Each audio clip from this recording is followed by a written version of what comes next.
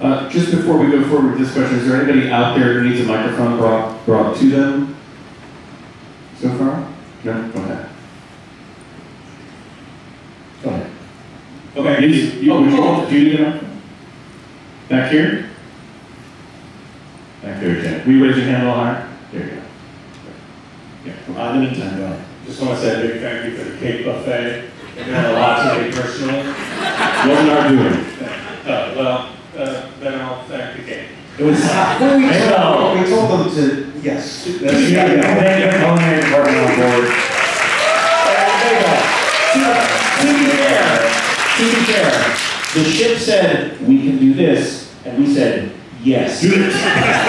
We did it a lot. We didn't remove the cake buffet from it. Yeah, and you also took away the salad bar, which was great. So- No salad, only cake.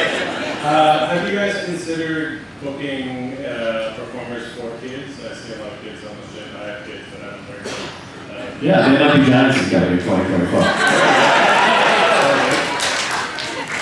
Uh, yeah, we have uh, occasionally tried to book performers, maybe not an exclusively kids perform, but we had a number over the years who also perform kids music. Um, yeah, well, Mark, uh, Mike Phirman did a kids show, and um, oh shoot, the Nerf Herder did a children's set.